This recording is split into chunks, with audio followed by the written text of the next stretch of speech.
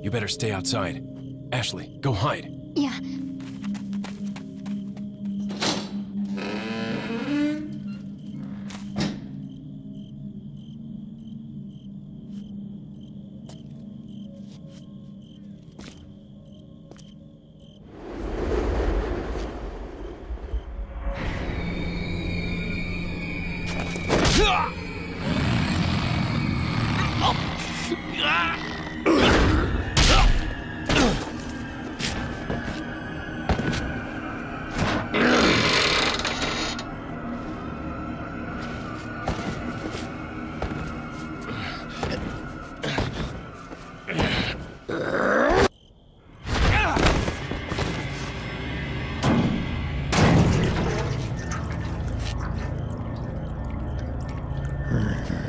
Hasta luego.